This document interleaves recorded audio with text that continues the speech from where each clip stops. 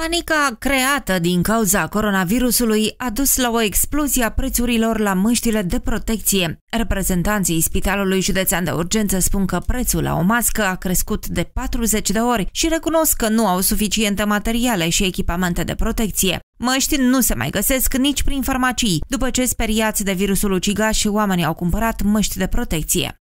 Prețul măștilor medicinale și cel al altor echipamente de protecție a crescut peste noapte din cauza isteriei legate de coronavirus. Reprezentanții Spitalului Județean de Urgență Botoșani spun că prețurile la măștile de protecție au explodat pur și simplu. Cu măștile este o mare problemă. Măștile este o mare problemă, ar trebui luate niște măsuri la nivel înalt uh, să plafoneze prețurile. Prețurile au crescut de 40-50 de ori la o mască. De la 0,6 bani la am luat cu cel mai ieftin cu 2 lei și 50 o mască și alții vând cu 4 lei. Ei, deci vă dați seama. Da, aveți contractul? Ba da, dar cel care are, cu care avem contract nu a mai furnizat cu prețul ăla, dar vindea cu prețul de 40 de ori mai mare. În momentul de față, măști de protecție sunt doar la nivelul secțiilor. Avem uh, la nivelul secțiilor uh, stoc. Acum am făcut noi comandă, trebuie să vină uh, măști, dar e la nivelul tuturor spitalelor și a tuturor a întregii țări problema asta. Nu e că numai noi nu avem. Dezinfectați sunt, medicamente, noi am făcut toate demersurile, să aducem și să asigurăm cât putem stoca în magazii, că să înțelegeți că și magaziile au, un, da, o capacitate limitată.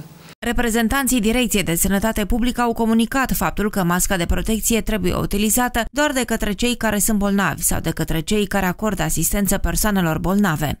Este isteria măștilor. Masca nu ajută în mod deosebit la purtarea curentă decât dacă vrem să mai facem un herpes sau să mai facem două bubițe. Cam asta va fi efectul purtării ei zi de zi și mm, cumpăr trei măști pe care le port în poșetă, poșeta aia merg cu ea și prin tramvai și pe la supermarket, alea oricum devin așa din bleu sau ce culoare va fi mai incerte, după care mi le mai pun din când în când pe față, iar le mai pun prin poșetă, le mai... Nu, deci asta este un mod sigur de a ne îmbolnăvi de altceva, nu de corona, nu ne protejează de nimic pentru marea masă a populației. Deci și în recomandările Ministerului scrie foarte clar, masca se folosește de personalul medical și în cazul în care avem un bolnav respirator, de bolnavul respirator. Atât. Purtatul ei în marea masă nu-i nici măcar la modă, nici nu-i culoarea anului. Deci nu ajută pe nimeni cu nimic. Măștile de protecție nu se mai găsesc în farmacii, iar distribuitorii susțin că pe stocuri mai există doar cantități minimale.